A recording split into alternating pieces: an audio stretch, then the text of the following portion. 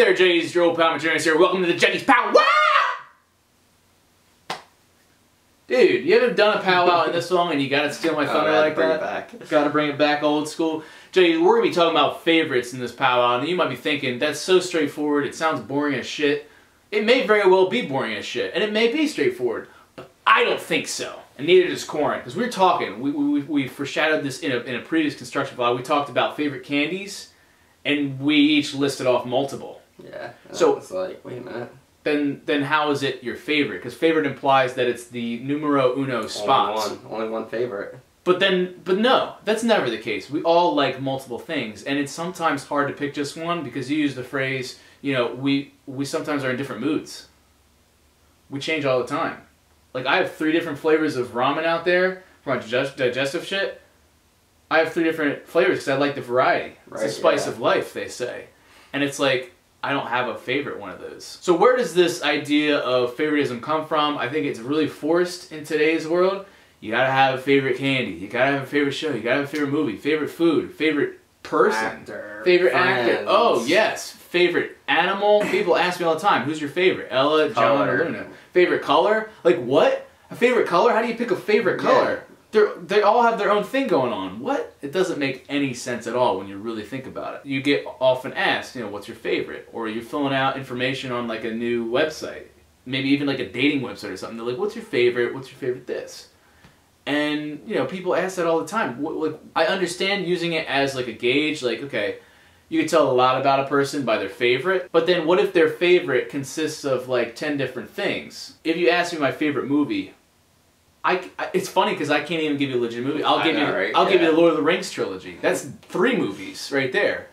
But then it's also not just Lord of the Rings trilogy. I could list about fi- at least five others offhand that are like so good. that are like really good movies, but they're all different genres, which is important to note. Do you judge a person by their favorites? Like if somebody said their favorite food was like uh, something you don't like, usually, right? You at least you have I to cast some kind of judgment. like back thought, like how this person like this? Right, like say you know a girl's favorite movie would some, be something like The Notebook. Yeah, it's like You'd be like, ooh, you know, suddenly you'd think they have bad taste in movies. But what if we extended that and said, what's your favorite 50? What's your top 50 movies? Suddenly Yeah, her list like, it's so includes like 20 other movies that you absolutely love. like, oh, those are some good movies on that list. Right, and I guarantee you, every person out there has, like, if you ask them their top 30 movies, suddenly we'd all have a lot in common with each other. Oh shit. But we make ourselves so exclusive with these favorites, suddenly it's impossible to connect because there's so many different choices or possibilities out there. And there's so many, there becomes so many different tastes because we almost force ourselves in this kind of exclusivity. Wow, I just sound really fucking smart there. right? That's pretty. Yeah. this is my favorite powwow I think we've done. The plot Mm. thickens there. Now, interestingly enough, we brought up the concept of people and how you can have a favorite person, like you, but usually not like, oh, they're my favorite person. You might say that, but it more often than not is called my best friend, my best friend. And then, can you have multiple best friends? Once again, it's the same concept of favorites because best implies that there can be only one bestie. Personally, I say I have multiple best friends. right. Yeah, that's what I usually tell people. Corn, I see the most, I hang out with the most, we're both very chill, so for that, you know, he, he gets best friend. But then I could also say, oh, Mark's a best friend because we've known each other for so long, we like a lot of the same things, we goof off together, that sort of thing too. I could also say, you know, my best friend is Juliet because, you know, we do a lot, a lot of things together, we talk about deep shit and whatnot. And then suddenly, you know, those three people are like, if, if somebody asked me, who's your best friend? And I said corn, Mark would be like, What the fuck? yo, yo, you, me. you sure about that? And especially what what would it comes down to, like say you're having a uh, you're getting married, you need to pick a best man. I right? Can you imagine the fight that that will ensue there? And that's because we force ourselves to pick favorites. Why can't the groomsmen all be the best men? Have a whole fucking so squad. easier, Yeah. Why do why do we limit ourselves like this? I do not know. Let me know in the comments below. Who's your favorite YouTuber? Who's your favorite YouTuber, Corn? Uh, I mean, I probably have to go with Hear that hesitation? uh, Swoozie. I Got like Swoozie a lot. Swoozie, you got like 50 million different names going on. Now, what what that process is is you were thinking like, okay, I like, I have so many favorites. I have Mhm. like 10 favorites maybe. ones. You're also thinking, what do I almost want to hear? Because you don't want to pick someone who's like lame, Lame, yeah, yeah, super loserish, and it's just like, oh, you know, he's gonna judge me for picking him. Swoozie's honestly a safe choice in my opinion. He has lots of different kinds of content. He's a cool dude. So now when you pick Swoozie, it's like, what does that say about Corn? Why did Corn pick Swoozie? Swoozie, he's he's relatable, he's funny, and he's he's chill also. What's Corn like? All those things. So it's almost like it's really representative of of who they are, and it's interesting like what makes something your favorite. And I think what made Swoozie your favorite was you saw yourself in those qualities, and that also is something he values a lot. Like you value humor. You va- we're filming right now. All right, Jay. Sorry about that. Um, we just got interrupted. Uh, my dad had to say some things, but um, yeah, Swoozie, Swoozie. That has a lot to do with um, your character. It's like you pick Swoozie as your favorite YouTuber, and um, like like one of my favorite YouTubers is I like RackaRacka. You know who we hung out with uh, at VidCon, and like what does that say about me? I like them because they had like really cinematic quality videos. They featured things like Lord of the Rings and Game of Thrones, and uh, even Halo and Call of Duty videos. They, they, I thought they had like really graphic humor, and I think that aligns itself like with me. Like I'm, I'm, I'm really like just like I'm, I'm a little like a little bit of loose cannon. I, I like uh, just like graphic humor like that, and I like Call of Duty, Halo, and, and Lord of the Rings and stuff. And I think that says something about me. Now, music's another thing. Like now, or like even sports. These are two things that me and Corn aren't like really into. Like At all. like yeah, we don't watch sports. I'm not like regularly listening to music unless what comes on the radio or something I would use like in videos way back in the day. Um, so it, it's like when somebody asks you your favorite of that, and you say, "Well, I don't really have a favorite because I, I just don't really know too much." uh, It's just like, Is that worse is that worse than than picking? not having like a yeah?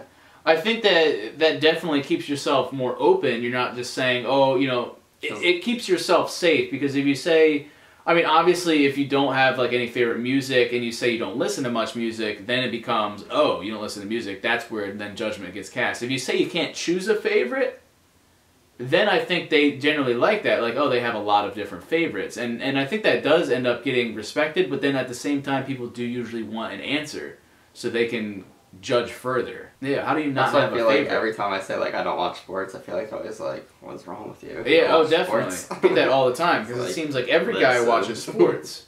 So when he goes against the status quo like that, you'll you'll definitely meet some resistance. So where does this leave us? We, just talked we just talked a lot of random bullshit about like favorites, but like what what's what's the point here? Where where is this going? And I think what it is is we use favorites as an indicator, uh, basically like a brief glimpse into somebody's personality. So I think when it comes to favorites, I think you definitely should have a favorite. Going back to what you said, you know, like what if you don't have one? I, I think people do cast judgment, and then they're like, oh, well, I'm not really interested. This person can't even decide what their favorite is. They don't know anything about themselves. Why should I show any interest? So I think what matters is, and the takeaway here is, we all need to kind of have an idea of what our favorite things are, and even if we're not 100% on what they are, I think you should just go with one. I think you should pick whatever favorite you think best represents you. So if you like, so I go with the Lord of the Rings trilogy because first of all, I just think they're great all-around movies, and for those judging, they'd be like, oh, those are really good movies too. Then I think that kind of goes with me. It's like I'm I'm kind of nerdy, but like you know, still cool at the same time.